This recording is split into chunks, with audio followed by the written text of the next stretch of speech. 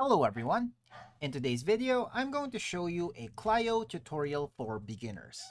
Now this video will have everything you need to know about Clio and how you can use it for legal case management. So without further ado, let's dive right into their website.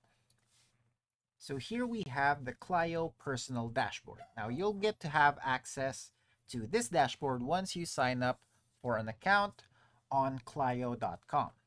Now, currently I'm using a free trial account only, so this will only last me up until six days before I'm gonna need to subscribe to one of their plans.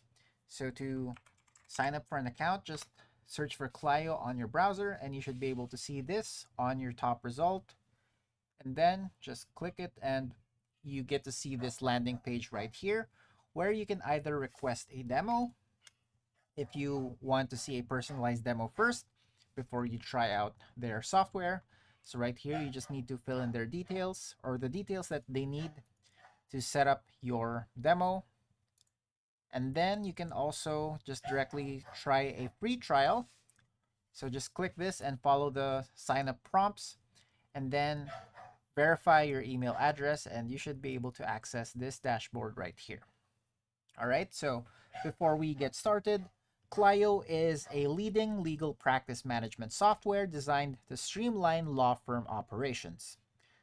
And here we get to see the main features of the dashboard. So on the left hand side, which is the toolbar, we have the dashboard, calendar, tasks, matters, contacts, activities, billing, accounts, documents, communications, reports, app integrations, and settings.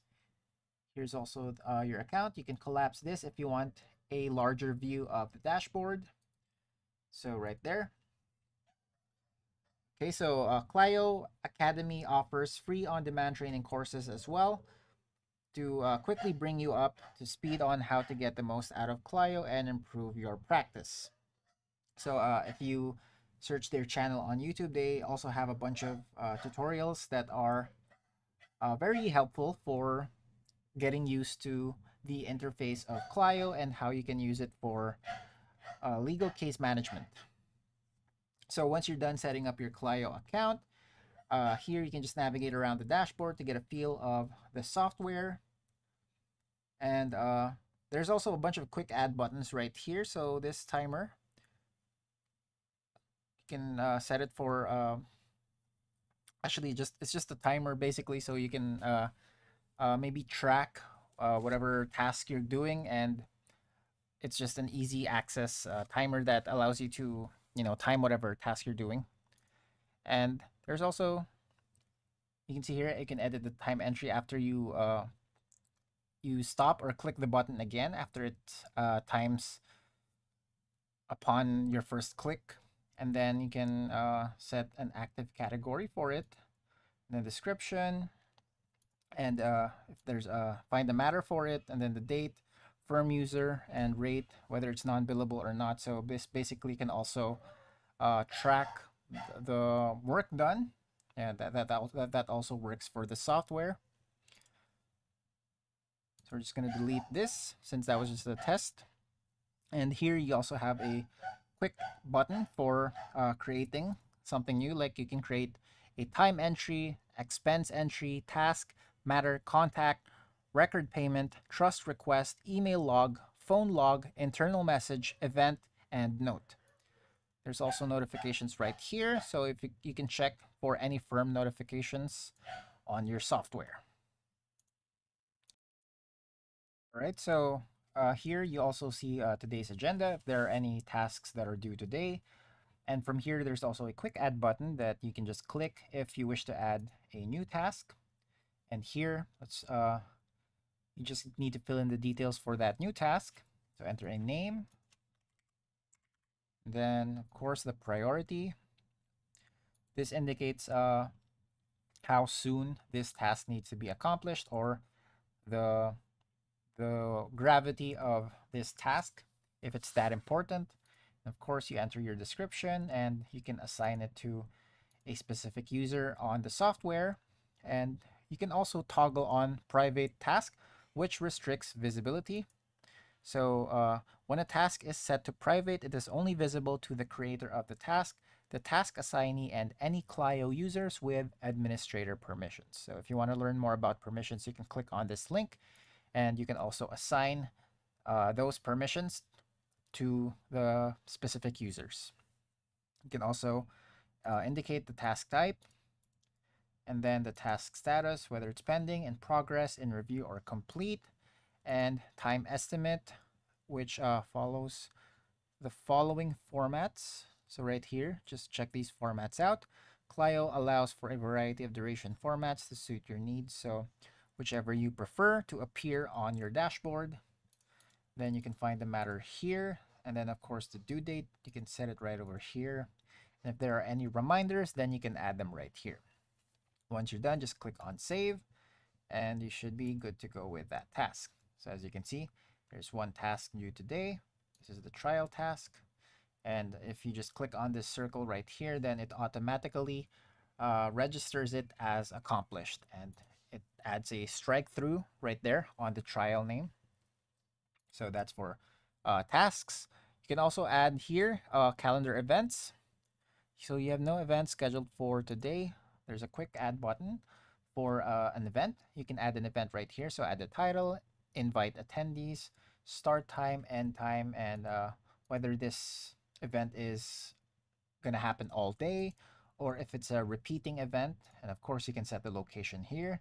You connect to Zoom in your settings. You can connect to Zoom in your settings to add a video call to this event.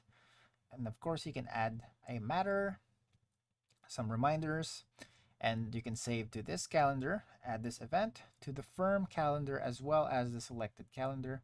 So right there, feel free to tick that box if uh, it applies. And then the event type. So you can create firm-wide event types with associated colors to easily identify events and deadlines in your calendar. So just uh, click on the plus icon, and then you can add new event types if you don't have ones uh, set already. And of course, the description. So once that's done, uh, once you have all the details you need, just hit save and the event will be registered in your dashboard.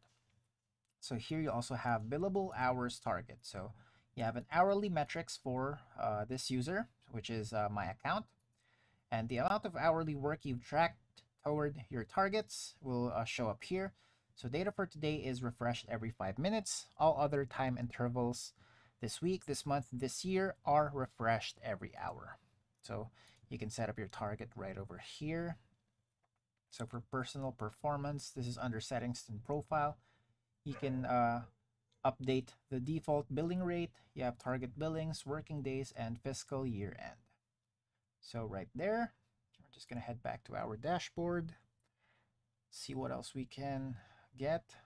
So you have the billable hours target right here because we visited the settings so you have 0 hours and 1.9 hours and financial metrics for Miko Gay. This is the target and expected and actual. So you get to compare it daily, weekly, monthly, and yearly. There's also a detailed annual report already. And let's check out this side right here for billing metrics for firm. So this is the current status of all bills firm-wide. So any drafted bills will uh, appear here total in draft, unpaid bills, total in unpaid, overdue bills, and total in overdue. So if you want to create a bill, you can just click on the quick add button here and you can select billable cli clients to generate new bills. So uh, you need to have billable clients, of course. And then lastly, we're just going to try to check the uh, matter right here. So if you want to add a matter, just click on that button, uh, create new, and then select matter.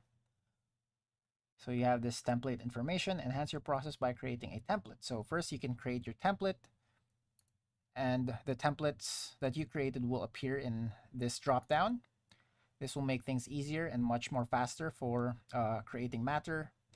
And then here, uh, you need to indicate the contact's name or the client, matter description, the responsible attorney, originating attorney, client reference number, location, practice area, matter stage, matter status, open and close date, pending date, statute of limitations date, and if the statute of limitations date are satisfied, And of course, matter permissions. So firm users with access could be everyone or specific users or group. And then you just indicate them right here.